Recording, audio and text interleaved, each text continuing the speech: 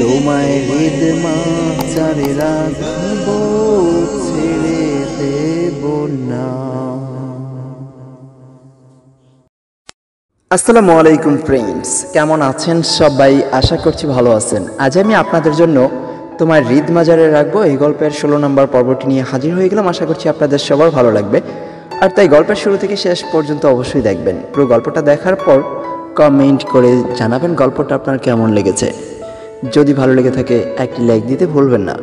আর আপনি যদি আমাদের চ্যানেলের নতুন দর্শক হয়ে থাকেন, তাহলে অবশ্যই চ্যানেলটি সাবস্ক্রাইব করবেন। সেই সাথে পাশের বেল বাটনে ক্লিক করে রাখবেন আমাদের নতুন ভিডিওর নোটিফিকেশন পেতে। আর যারা অলরেডি আমাদের চ্যানেলটি সাবস্ক্রাইব করে ফারুজ ডেরির সাথে আছেন, তাদের সবাইকে জানাই অনেক অনেক ধন্যবাদ। আশা করব সামনের দিনগুলোতেও সবসময় ফারুজ ডেরির সাথেই থাকবেন। তো চলুন, বেশি কথা না বলে সরাসরি গল্পে চলে যাই। শুক্রবার শুরু হলো ওদের গন্তব্যহীন যাত্রা। কলরব জিজ্ঞাসা করল, আগে কোথায় যাবে? নিহিন বলল, তোমার ইচ্ছে। কলরব বলল, জানতাম তুমি এটাই বলবে। বাই দেবে চলো, আগে মুভিটা দেখে আসি। নিহিন বলল, ঠিক আছে। এরপর কলরব নিহিনকে একটা ছোট্ট ব্যাগ দিল। নিহিন বলল, কি এটা?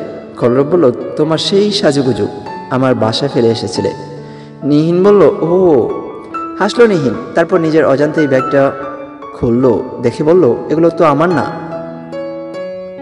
কলরব বলল, এগুলোই তোমার? নিহিন বলল, আরে বাবা আমারগুলো তো ইউজ করতাম, এগুলো তো ইনটেক। কলরব বলল, হুম, ওইগুলো আমি রেখে দিয়েছি, একই ব্র্যান্ডের একই জিনিসগুলো আছে এখানে। নিহিন বলল, সে তো দেখতেই পাচ্ছি, কিন্তু কেন? কলরব বলল, তোমার ওই ছোটবেলার ছবিটা ছাড়া আর তো কিছুই নেই আমার কাছে। থাকুক না কিছু জিনিস স্মৃতি হিসাবে। নিহিনের বুকের মধ্যে চিনচিন করে উঠল, স্মৃতি হিসাবে রাখতে চাচ্ছে কেন? তাহলে কি যা ভেবেছিল তাই? আবার ভাবলো দেখ হতে পারে না। কলরব তো ওকে পাগলের মতো ভালোবাসে। নিহিন মনোযোগ দিয়ে মুভিটা দেখছে আর কলরবের দেয়ার চকলেট খাচ্ছে। কলরব মুগ্ধ চোখে দেখছে নিহিনকে খেতে খেতে একটুখানি চকলেট ঠোঁটে লেগে গেল নিহিনের ও খেয়াল করল না। সিনেপ্লেক্সের আদো আলোতে অসাধারণ লাগছে নিহিনকে। নিহিন খুব আহামরি সুন্দরী না, তবে একবার তাকালে ভালো লাগে আর একবার তাকাতে ইচ্ছে করে। তবে ওর সৌন্দর্য শতগুণ বেড়ে যায় হাসলে, ওর হাজার গুণ বেড়ে যায় লজ্জা পেয়ে চোখ নামিয়ে হাসলে। কলরব আঙ্গুল দিয়ে চকলেটটুকু নিহিনের ঠোঁট থেকে উঠিয়ে নিয়ে নিজের মুখে দিল। কলরব নিহিনের ঠোঁটে হাত দিতে ও চমকে উঠেছিল। তারপর কলরবের এই কাণ্ড দেখে লজ্জায় আর মুখ উঠাতে পারল না। কলরব বুঝলো তবু না বোঝার বান করে ফিসফিসিয়ে বলল, কি হলো? নিহিন বলল, কিছু না। বলে আধো চকলেটটা এগিয়ে দিল কলরবের দিকে। কলরব হাতে নিয়ে খাওয়া শুরু করল। নিহিনকে এত লজ্জার হাত থেকে বাঁচাতে কলরব মুভিতে মন দিল। কিছুক্ষণ পর দুজনে কিছু একটা বলতে যাচ্ছিল। একই সাথে দুজন দুজনের দিকে ফেরাতে নিহিনের ঠোঁট ধাক্কা খেলো কলরবের হাতে। ফলে নিহিনের ঠোঁট থেকে চকলেট মাখা রেড লিপস্টিক লেগে গেল কলরবের কালো টি শার্টের হাতায়। নিহিন গলা নিচু করে বলল, ইস সরি, খেয়াল করিনি। কি হবে? কলরব বলল, কিছুই হবে না। ইটস ওকে নিহিন বলল, ব্ল্যাকের উপর রেড একদমই স্পষ্ট বোঝা যাচ্ছে। কলরব হেসে বলল প্রবলেম নাই তো। ছেলেদের কাপড়ে অ্যান্ড গায়ে লিপস্টিকের দাগ সবচেয়ে স্বাভাবিক ব্যাপার। নিহিন বলল, যাহ, তুমি না। কলরব বলল, কি? নিহিন বলল, অসভ্য। কলরব বলল, আমি কোথায় অসভ্যতা করলাম? তুমি তো অসভ্যতা করলে। নিহিন অবাক হলো, আমি? আমি কি করেছি? কলরব বলল চুমু খেলে আমার হাতে? নিহিন বলল, ইস, যা। মুখে কিছুই আটকায় না। লজ্জায় চুপসে গেল নিহিন, কলরব হাসতে লাগল। এই মা, এই তো দেখি একদম বাচ্চা ছেলে। কলরবকে দেখেই কথা বলল তিথি, হক চকিয়ে গেল কলরব। এই মেয়ে বলছে কি? সাব্বির বলল, তিথি, তোর জন্য কি জ্ঞান বুদ্ধি কখনো হবে না? তিথি বলল এ মা, এখানে জ্ঞান বুদ্ধির কি আছে? তুই ছোট্ট ভাই হতে পারিস, আমি তো আদি করওয়ালি কি ভাইয়া? ঠিক বলেছি তো? কলরব হেসে বলল, সাব্বির, তুই থাম তো। হ্যাঁ আদি ঘরালি কি যেন বলছিলে? তিথি বলল, বলেছিলাম যে আপনাকে দেখে চমকে গেলাম। মনেই হচ্ছে না আপনি আমাদের থেকে অত বড়। আমাদের বয়সী বলেই মনে হচ্ছে। কলরব বলল, সেটা হওয়া কি, ভালো না? নিজের বেস্ট ফ্রেন্ডের জন্য নিশ্চয়ই কোনো বুড়োকে পছন্দ করবে না? তিথি বলল, সেটা তো অবশ্যই না। নিহিনের ভাষ্যমতে আপনি কালো এবং ওর চেয়ে সাত আট বছরের বড়। সে তো হিসেব করে ভেবেছি একটা কালো বড়িওয়ালা টাক লোককে দেখতে পাবো। অথচ আপনি এত কিউট অ্যান্ড হ্যান্ডসাম যাকে ব্ল্যাক ডায়মন্ড ছাড়া আর কিছুই বলা যাচ্ছে না। আমি বিয়েটা না করে ফেললে আপনার সাথেই লাইন মারতাম নির্ঘাত। এই কথা বলে তিথি একটা চুপ মারল কলরবকে। কলরব তো বিমরি খাওয়ার জোগাড়। বিস্ময় কাটলে কলরব হু হু করে হেসে উঠল। সাব্বির খুব বিরক্ত হচ্ছে। তিথির সব কিছুতেই বাড়াবাড়ি। কলরব বলল আচ্ছা তোমার বান্ধবী তোমাকে বলেছে আমার মাথা টাকা আছে? আর বুড়ি?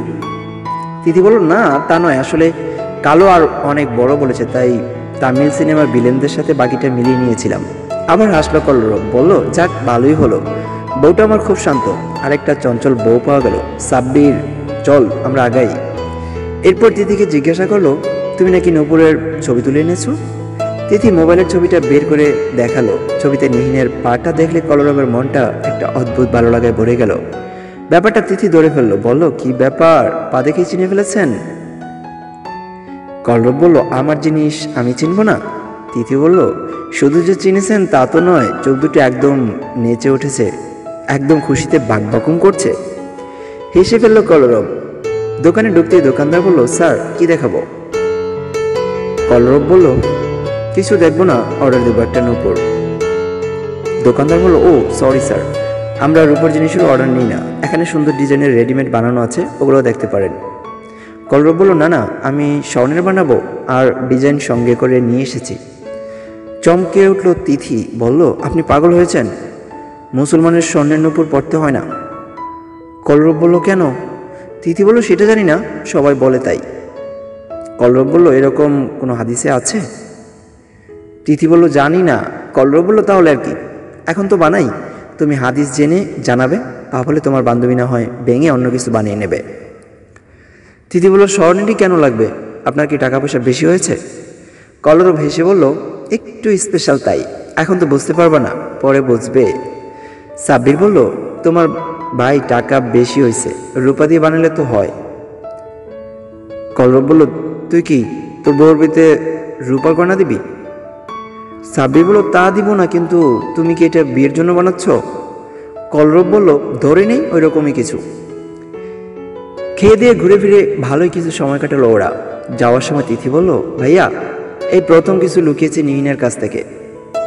কলরব বলল, সেটা তো তোমার বান্ধবীর খুশির জন্যই। সারপ্রাইজ পেতে কার না ভালো লাগে, বলো? তিথি বলল হ্যাঁ কিন্তু এখন যে কষ্টটা পাচ্ছে তার জন্যই খারাপ লাগছে। কলরব বলল, কেন? কষ্ট পাচ্ছে কেন? তিথি বলল, আপনি যে ওকে ভালোবাসেন সেটাও খুব ভালোভাবেই জানে, কিন্তু সরাসরি কিছুই বলেননি, তাই টেনশনে মরছে। আর এদিকে আপনি বিয়ের প্ল্যানিং করছেন, বউ বউ করছেন, আমাকে কিছু বলতেও নিষেধ করেছেন, কিন্তু ভাইয়া, মেয়েটা ওইদিকে অনেক কষ্ট পাচ্ছে। হাসলো কলরব, কিন্তু অবাক হয়ে বলল, তিথি অবাক হয়ে বলল, আপনি হাসছেন? কলরব বলল, ওকে টেনশন করতে দাও। সময় এলে আমি যা বলার বলব, যাতে সব কিছু সুন্দরভাবে সে ব্যবস্থাই করছি। আর তোমার বান্ধবী অনেক কষ্টই তো পেয়েছে, সুখটা না হয় একেবারে বেশি করে পাক। তাছাড়া গতকালই তো ওর সাথে দেখা হয়েছে, ও ভালোই আছে। এমন সময় সাব্বির তিথিকে বলল, তুই দরদ দেখাইয়া বলে দিয়ে সব ব্লান্ডার করে দিস না দোস্ত, প্লিজ। তিথি বলল, আহ, বললে তো কবেই বলে দিতাম, আমি কিছু বলেছি?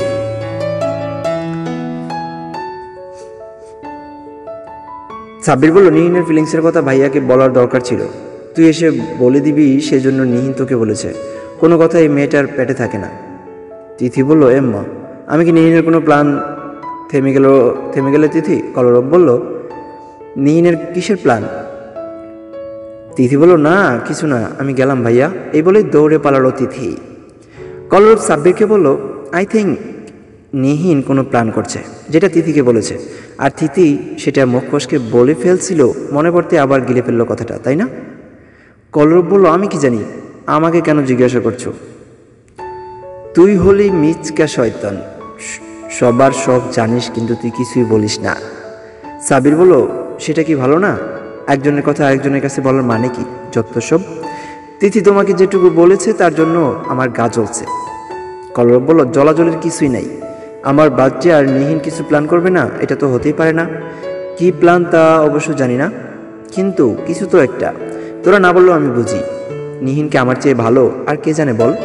সাব্বির অবাক হওয়ার বান করল, ও, তোমার বার্থডে নাকি? হেসে ফেলল কলরব। সাব্বির আবার বলল, শোনো, নিহিনের অত টাইম নেই, ওকে? মঙ্গলবার ওর অফিস আছে।